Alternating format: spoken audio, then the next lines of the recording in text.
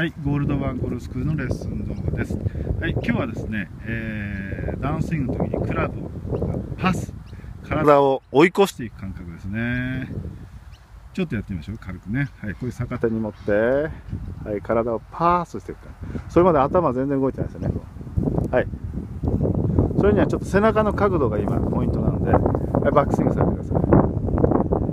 はい。こうすると、もう一回ちょっとバックスイング止まって。背中に15度ぐらいのこう角度がつきますね。こう15度ぐらい傾いてますね。これを変えないように、はい、パスしていく。これがパスの感覚。はい、じゃあ、ハンマー投げのイメージ。ハンマー投げも一緒ですね。はい、そこから背中越しに向かってハンマーを放り投げるイメージ。そう。体をパースしていく感じ。はい、なんかある、あの、人によるとやっぱり、なんかフック打つようなイメージがあるみたいですけどね、クラブをパスしていくから。はい、この感じですね。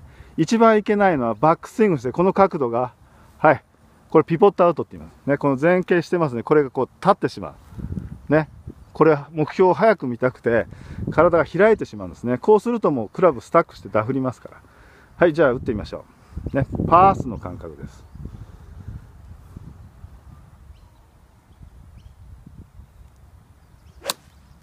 はい、素晴らしいですね。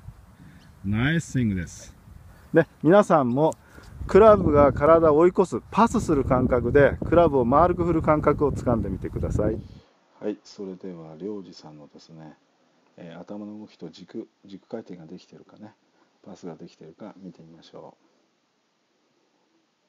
左が3週間前のスイングですね。はい、ずいぶん頭が突っ込んでますね。はい、右側が、え、3週間後ですね。わあ、随分軸回転できてますね。一目瞭然ですね。